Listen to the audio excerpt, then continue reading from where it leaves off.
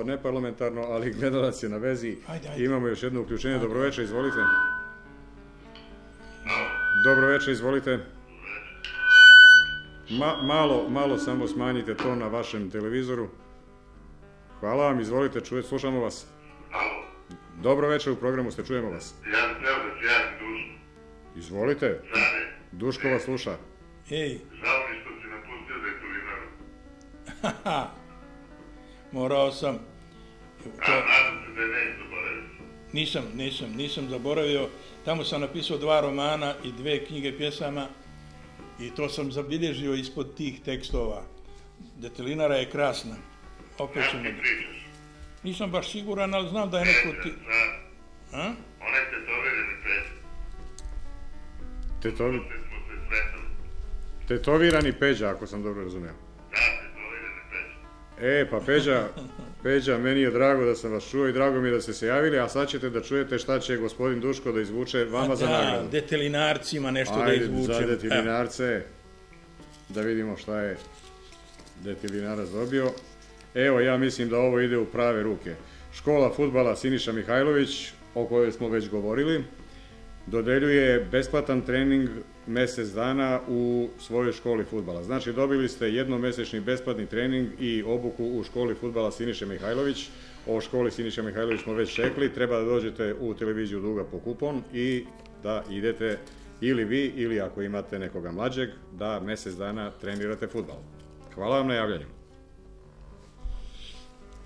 A gdje smo ono stali sad, sad ne znamo krenuti iz početka.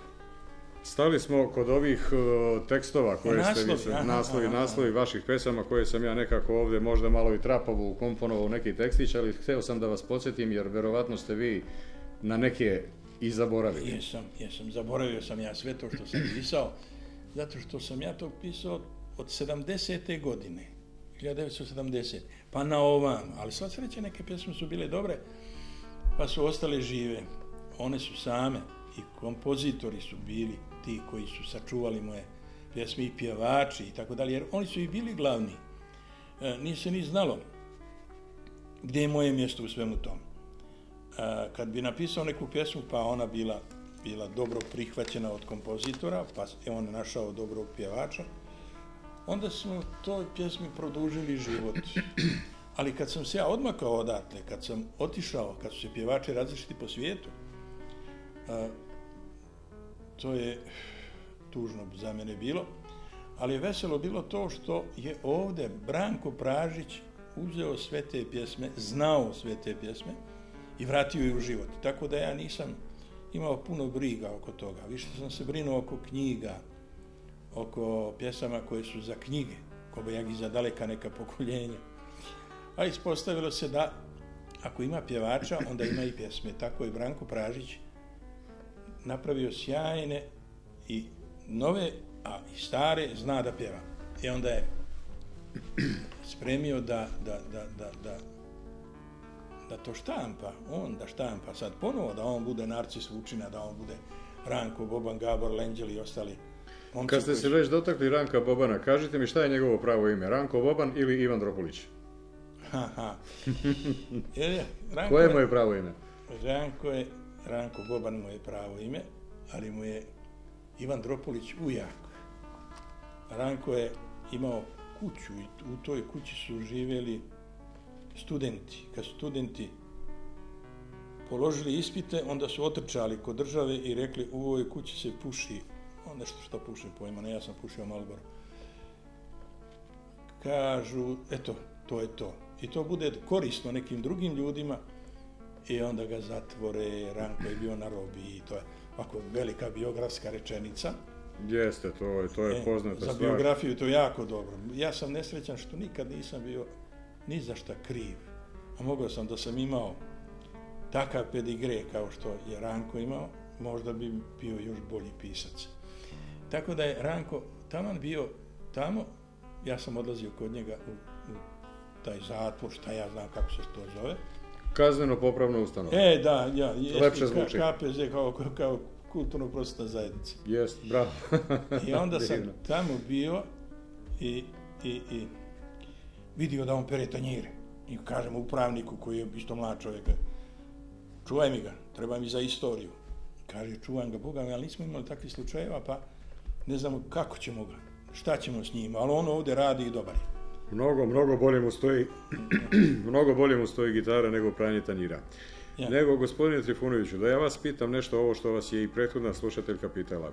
Vaš dolazak iz e, Sarajeva u Novi Sad, u razloge nećemo ulaziti, to nisu ni planirane teme za ovakve vrste emisije. Vašim dolaskom u Novi Sad, vi ste došli sa torbicom u ruci, ako se ne varam, Je, Ovaj, i, I ima jedan interesantan detalj za vaš boravak u Novom Sadu u prvo vreme. je. Kako je to teklo i kakva je to priča vezana za prugu Beograd-Bar i zašto je to tako ispalo i kako ste se vi osjećali u to vreme? Teško je bilo napustiti sve Ja sam- svoje. Da, ja sam napisao oko, oko 80 knjiga. Imamo, oprostite, samo imamo uključenje. Ajde. Dobro večer, izvolite. Dobro večer, izvolite. Halo, Dobro večer, u programu ste izvolite. Halo, čujemo vas. halo, Čujemo vas, izvolite. halo. Halo, mi vas čujemo. E, dobro večer, Vajta ovdje pjevač pjesama. O, gospon Sejde. Dobar večer, gospon Sejde. Pa odakle nas zoveš, Bolan? Ali nešto prekida. Nešto trokira, mora da nisi ovdje u blizini. A nisam Pa kako se vidimo u Hamburgu? Kako se vidimo u Hamburgu? se vidimo ovako. Vidimo se, ima li snijega na slici? Nema. A, nema snijega, ovdje malo pada snijeg. Pada snijeg, dobro. Aha. E, hvala ti što si se javio, evo kraj mene je gospodin Trifunović, sigurno želiš ovaj, da mu postaviš neko pitanje. Želim sada opet ovdje ovako javno da mu čestitam 50 godina umjetničkog rada.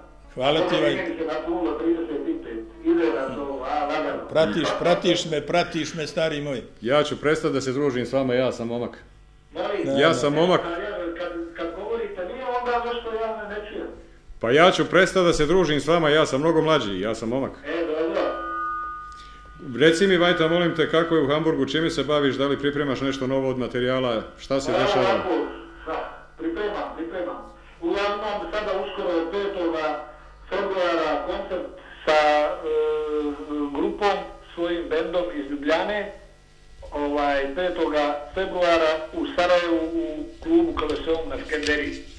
I to će biti moj koncert, možda, možda poslije 15 ne znam koliko godina i prvi put sa bendom, eto to je interesantno. Inače je bend iz Ljubljane jedini uh, je prijašnji član je Vedo Hadžijavdić, gitarista, solo gitarista, Teške industrije. bivše teške industrije, eto tako, pa ćemo održati koncert tamo. To će uspjeti sigurno. Seo, bit će to A sjajno. kako neće, orkestar Vidiš. se zove, band se zove Skandal Music Orkestra. Znači, nastupa Vajta i Skandal Music Orkestra. Ali mi smo, mi smo čuli da je Vajta napravio neku novu ploču koja se zove Atomska bomba. A ne, to je samo radni naslov. A to je radni To naslov. je, to je radni naslov, A da li se čuo, zove atomska bomba. a da li se čuo za ovu novu bombu što Amerikanci prave, koju su nazvali gay bomba, u koju su ugrađeni neki afrodizijaci koji ovaj tako deluju kod neprijateljskih vojnika da izazivaju baš te gay efekte i na taj način sprečavaju ratna dejstva neprijatelja. Ola la.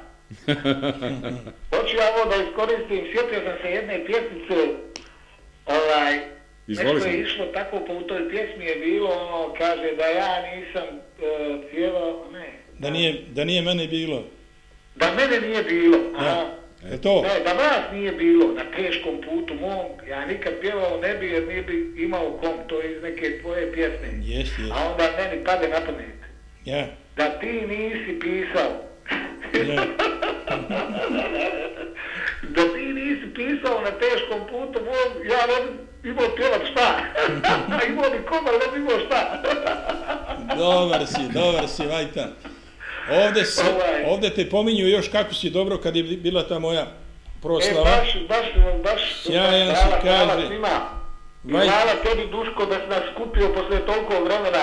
Bio si divan razlog da se nađemo svi zajedno poslije toliko vremena. Kratko je bilo, ali bili, bili ste sjajni. Ja sam se ponosio Hvala, što sam vas poznavao kad ste bili Hvala, lijepi mladi. Ćemo mi tu. Kad ste bili lijepi mladi.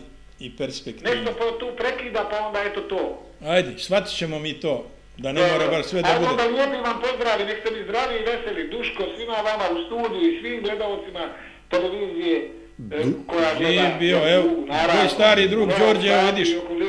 Tvoj-. Živ bio svoj stari drug. Đorđe. Pa, čao, čao. Zdravo, zdravo, zdravo. Hvala ti puno na javljanju i dobro nam došao što prije. A sada molim režiju da pusti, ako je pripremljen, jedan spot sa nove Vajtine ploče koja ima radni naslov, naziv Atomska bomba, da Duško Trifunović premjerno vidi šta to Vajta sada radi. Da čujemo Vajtu i pesmu Mare.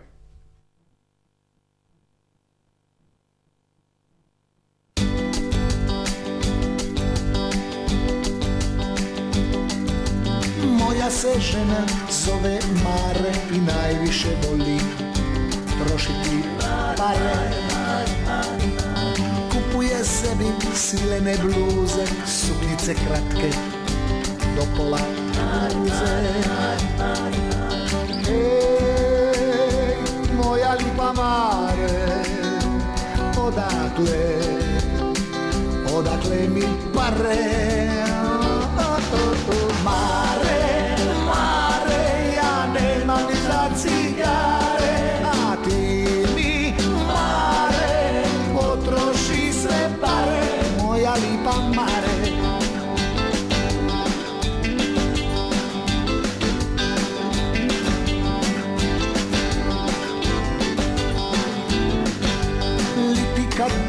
prevruće bude Mojoj se mari naziru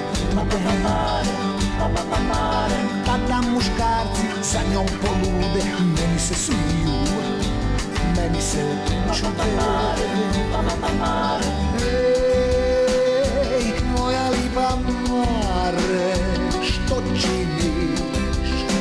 Od budale Stare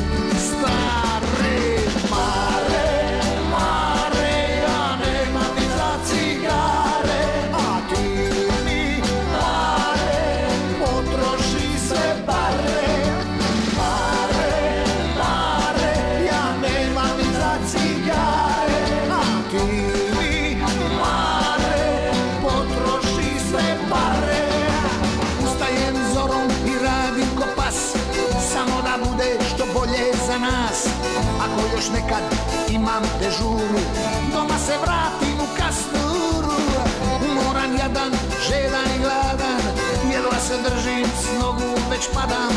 Otvaram vrata i doživim stres. Mare je opet odšla na